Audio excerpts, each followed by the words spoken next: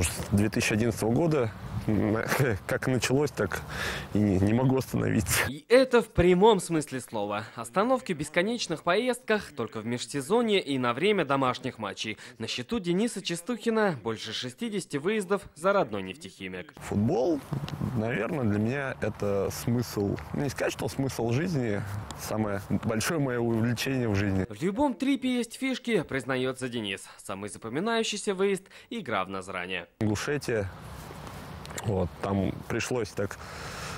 Так получилось то, что не получилось с гостиницей, а в городе оставаться было крайне опасно. И все, причем аэроп- э, железнодорожный вокзал в 7 часов закрывался, авто- автобусный вокзал тоже закрывался.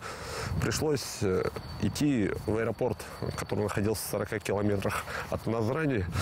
И, ну и пешочком прогулялся до аэропорта. Фанат нефтехимика, поклонник Спартака и болельщик сборной России. Для последней команды впереди первый домашний чемпионат мира, и без поддержки она в любом случае не останется, ведь фанат – это человек, который предан цветам своего клуба, э, который никогда не ну, без поддержки команду не оставит. Первый матч наша сборная сыграет уже через 10 дней. Домашний мундиаль – время, когда такие преданные фанаты, как Денис, объединяются в порыве поддержать одну команду на всех. Салават Мухмадулин, Кирилл Завкаев, Евгений Вызаев, ТНВ, Нижнекамск.